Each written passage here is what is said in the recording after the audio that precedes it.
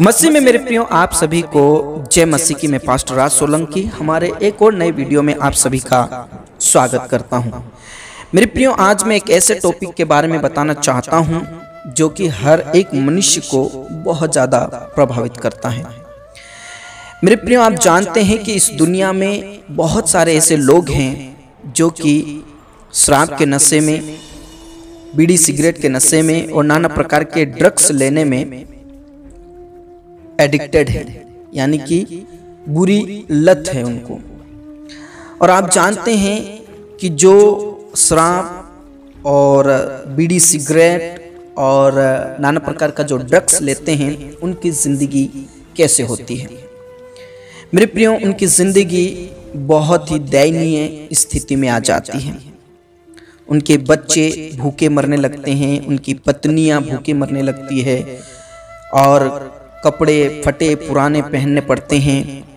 और यहाँ तक कि उनका परिवार ऐसी दयनीय स्थिति में आ जाती है कि उनको भीख भी मांगना पड़ जाता है। और अपनी ज़िंदगी को लोग बर्बाद कर देते हैं, नशा करके, नाना प्रकार के नशे में फंसकर अपनी ज़िंदगी को बुरी तरह से बर्बाद कर रहे हैं। मेरे प्रियो, मैं आपको बताना चाहता हूँ कि जो मसीह में हैं, जिन्होंने प्रभु यीशु मसीह पर विश्वास किया और बपतिस्मा भी ले लिया। उनमें से भी बहुत सारे ऐसे प्रिय भाई बहन हैं जो शराब के नशे में सिगरेट, बीड़ी, तंबाकू और नाना प्रकार का ड्रग्स लेते हैं। अभी भी वो इस आदत में हैं, लत में हैं। कई प्रिय भाई बहनों का पूछना है कि, पास्टर जी हमें नशा नहीं छूट रहा है। शराब का नशा नहीं छूट रहा है। कुछ कहते हैं, बीड़ी सिगरेट का नशा नहीं छूट रहा है।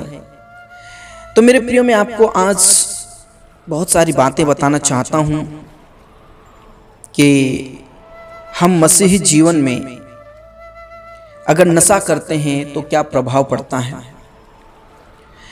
मेरे प्रियो, आज के इस वीडियो में मैं आपको नशा से छुटकारा पाने के लिए कुछ बातें बाइबल से बताने जा रहा हूँ। और जिन्होंने हमसे पूछा है, उन प्रिय भाई बहनों को मैं ज़रूर बताना चाहता हूँ कि इस वीडियो के अंत तक ज़रूर बने रहिएगा। यदि आप मसीह में हैं और आपसे शराब नहीं छूट रहा है, बीड़ी सिगरेट नहीं छूट रहा है, ड्रग्स नहीं छूट रहा है तो ये आपके लिए बहुत ही इम्पोर्टेंट वीडियो है। यदि आप परिवार में हैं और यदि आपके बहन या आपका भाई या आपका पिताजी, आपके पति, आपकी पत्नी अगर ड्रग्स लेते हैं लेते हैं तो ये वीडियो उन तक ज़रूर पहुंचाएँ। और जो आज प्रभु के वचन से हम बातें करने वाले हैं, उन वचनों को उनके बीच में ज़रूर बांटिए। और मेरे प्रिय बहुत सारे मसीह भाई बहन इन सारी आदतों से छूटना तो चाहते हैं, लेकिन छूट नहीं पा रहे हैं। तो आप इस वीडियो के अंत तक ज़रूर बने रहिएगा। मेरे प्रियो, में आपको परमेश्वर के वचनों से अवगत कराना चाहता हूँ। पहला वचन आप निकाल लीजिए, रोमियो की पत्री, बारह अध्याय, उसका दो पद को हम पढ़ेंगे। वचन में से लिखा है, इस संसार के सदृश ना बनो, परंतु तुम्हारे मन के नए हो जाने से तुम्हारा चाल चलन भी बदलता जाए। जिससे तुम परमेश्वर की भली और भावती और सिद्ध इच्छा अनुभव से मालूम करते रहो। मेरे प्रिय, जब हम मसीह में आ जाते हैं, जब हमने मसीह पर विश्वास किया है तो वचन ये बताता है कि जब मैंने और आपने यीशु मसीह पर विश्वास किया है तो हमने यीशु मसीह को पहन लिया है। पूरी तरह से हमने पहन लिया है। अब जो हमारा जीवन है, अब हमारा जो शरीर है इस पर परमेश्वर का हक है, यीशु मसीह का हक है। मेरे प्रियो, जब हम बपतिस्मा लेते हैं तो जब हम पानी में डूबते हैं तो इसका मतलब है कि हमने अपने पुराने चाल चलन को या अपने पुराने जीवन को उस पानी में दफना दिया। और आप जानते हैं कि जो लोग मर जाते हैं और जिसे दफना देते हैं, वे फिर जी कर बाहर उठ के काम नहीं करते हैं या यानी कि उसका जो जीवन है, वही दफन हो जाता है। उसी प्रकार जब मैं और आप मसीह में आते हैं और बपतिस्मा लेते हैं, जब पानी में डूबते हैं तो इसका मतलब यह है कि हमने पुराने जीवन को नष्ट कर दिया है, पुराने जीवन को खत्म कर दिया है इस वचन के अनुसार। वचन में लिखा है कि संसार के सदृश ना बनो, परंतु तुम्हारे मन के नहीं हो जाने से। तुम्हारा क्या चाल चलन भी बदलता जाए। मेरे प्रियो, जब मैंने और आपने मसीह को पहन लिया तो अब वो हमारा पुराना जीवन नहीं रहा। अब हमारा नया जीवन हो चुका है। अब हमारा नया स्वभाव, नया चाल चलन नया ओढ़ना, उठना, बैठना, खाना, पीना, सब कुछ नया हो गया है। अब पुराना स्वभाव हमारा पूरी तरह से खत्म हो चुका है। मेरे प्रियो, बहुत सारे जो मसीही लोग होते हैं, जिन्हें बहुत शराब पीने की आदत होती है, लत होती है वे लोग इस बात से बहाना करते हैं कि हम नशा करते हैं तो शरीर में जाता है। आत्मा थोड़ी ना नशा करती है। आत्मा तो अमर है, आत्मा स्वर्ग में चले जाएगी। शरीर यही रह जाएगा। इसलिए क्या करते हैं, वो नशा करते रहते हैं। लेकिन मैं आपको बताना चाहता हूँ मेरे प्रियो, जो हमारा शरीर है ना वो परमेश्वर के लिए है। मैं आपके लिए एक वचन बताना चाहता हूँ उसके बाद आपको क्लियरिटी हो जाएगा। जो इस प्रकार नशा करते हैं मसीह में होने के बाद भी ये सोचते हैं कि शरीर तो आ, शरीर है इसमें नशा करने से कोई कुछ होने वाला नहीं है। तो मैं आपको बताना चाहता हूँ फ़र्स्ट कुरंतियों की पत्री तीन अध्याय उसके सोलह और सत्रह पद में ऐसा लिखा है, क्या तुम नहीं जानते कि तुम परमेश्वर का मंदिर हो और परमेश्वर का आत्मा तुम में वास करता है? यदि कोई परमेश्वर के मंदिर को नष्ट करेगा तो परमेश्वर उसे नष्ट करेगा, क्योंकि परमेश्वर का मंदिर पवित्र है और वो तुम हो। कहने का मतलब ये जो हमारा शरीर है, हमारा जो जीवन है, वो परमेश्वर का मंदिर है। हम मसीह में आने के बाद किसी प्रकार का नशा नहीं कर सकते। क्योंकि जब हम नशा करते हैं तो वो शरीर के अंदर जाता है। और जो शरीर है, वो परमेश्वर का मंदिर है। आप जानते हैं मेरे प्रियो, जब प्रभु यीशु मसीह आराधनालय में जाते हैं, और आराधनालय में जहाँ आराधना होनी चाहिए, जहाँ प्रार्थनाएँ होनी चाहिए, जहाँ परमेश्वर का वचन होना चाहिए, वहाँ पर कुछ व्यापारी व्यापार करने लगे। वहाँ पर बिज़नेस चालू होने लगा, धंधा चालू होने लगा। तो वहाँ पर प्रभु यीशु मसीह वहाँ जाकर उन चौकियों को उलट दिया, ऐसा वचन में लिखा है। क्योंकि प्रभु यीशु मसीह ने कहा, परमेश्वर का भवन प्रार्थना का भवन कहलाएगा। मेरा भवन प्रार्थना का भवन कहलाएगा। परमेश्वर ने कहा। यीशु मसीह ने कहा, मेरे पिता का घर प्रार्थना का भवन कहलाएगा। तो जो हमारा शरीर है, वो प्रार्थना का भवन है। परमेश्वर का मंदिर है। और इस मंदिर में यदि मैं और आप शराब या किसी प्रकार का सिगरेट या किसी प्रकार का ड्रग्स अगर हमारे जीवन में लेते हैं, हमारे शरीर में लेते हैं तो इसका मतलब है हम अपने शरीर को गंदा कर रहे हैं। हम अपने इस जीवन को गंदा कर रहे हैं और जो हमारे जीवन को यानी अपने शरीर को अगर हम गंदा करेंगे तो परमेश्वर भी उसे नष्ट करेगा, ऐसा वचन में लिखा है। और जब हमने रोमियो में पढ़ा तो वचन में लिखा है कि तुम्हारे मन के नए हो जाने से तुम्हारा स्वभाव, तुम्हारा मन भी बदलता जाए, चाल चलन भी बदलता जाए। यानी कि अब हमारा जो स्वभाव है, वो मसीह के अनुसार हो। हमारा जो जीवन है, वो मसीह के अनुसार हो। हमने संसार के लिए अपने आप को खत्म कर दिया है। पुराने स्वभाव को उस पानी में डुबो दिया है, खत्म कर दिया है। तो अब हम जो मसीह में हैं इस प्रकार का नशा नहीं कर सकते।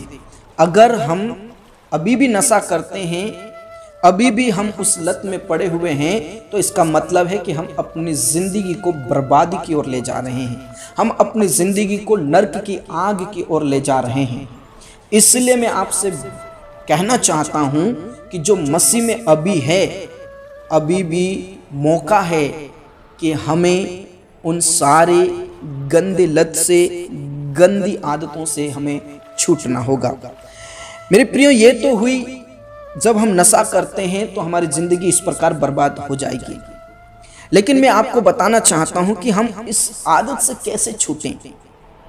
मैं वो आपको बताना चाहता हूँ कि इस आदत से कैसे छूटें। तो मेरे प्रियो, मैं आपको बताना चाहता हूँ कि जो कोई नशे से, बुरे चाल चलन से किसी प्रकार के ड्रग्स से अगर छूटना चाहते हैं, बचना चाहते हैं तो मेरे प्रियो, रोज बाइबल को पढ़ना शुरू कर दीजिए। रोज प्रभु यीशु मसीह के वचनों को पढ़ना शुरू कर दीजिए। उसी के साथ साथ आप प्रार्थना करना शुरू कर दीजिए। उसी के साथ साथ आप प्रभु से बातचीत करना शुरू कर दीजिए। उपवास के साथ प्रार्थना करना शुरू कर दीजिए। मेरे प्रियो, आपकी जो लत है, जो आपकी आदत है, वो पूरी तरह से छूट जाएगी।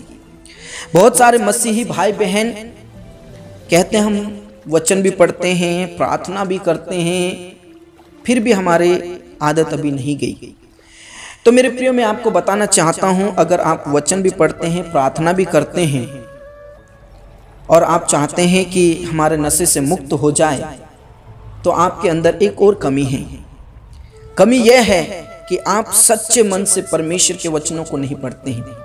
आप सच्चे मन से परमेश्वर से प्रार्थना नहीं करते हैं।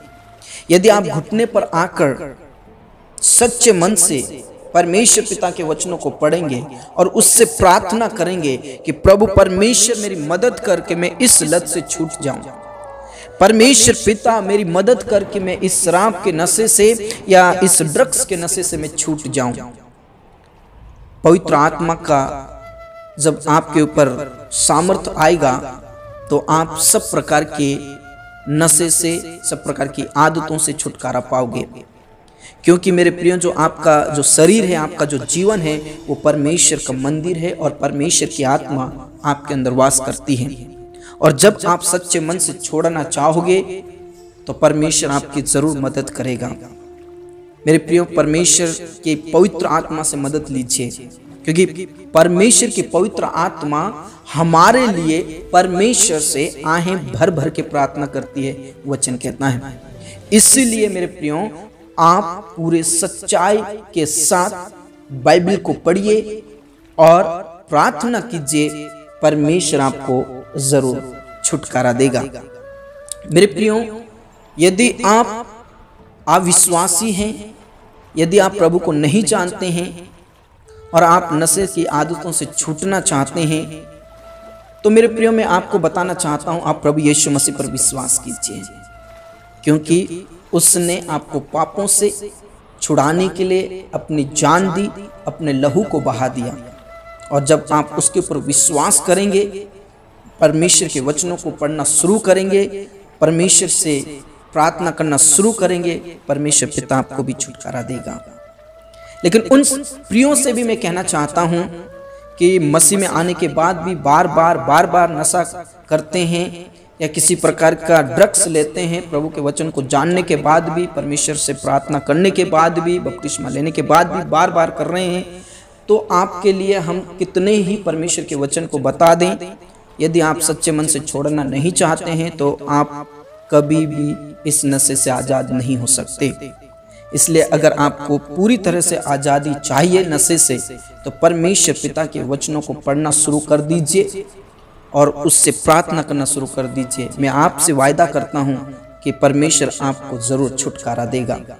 परमेश्वर इन वचनों के द्वारा आप सबको बहुत से आशीष दे। परमेश्वर में हम नए हैं प्रभु में हम नए हैं, इसलिए हमारा चाल चलन भी बदलता चला जाए। परमेश्वर आपको बहुत आशीष दे। यदि आपको ये बातें समझ में आ गई है तो आपके प्रियजनों को, आपके भाई बहनों को, आपके रिश्तेदारों को जो नशा करते हैं, उनके बीच में इस वीडियो को ज़रूर शेयर कीजिए, ताकि परमेश्वर उनको नशे से छुटकारा दे। प्रभु आप सबको बहुत अच्छे आशीष दे। सबको जय मसीह की।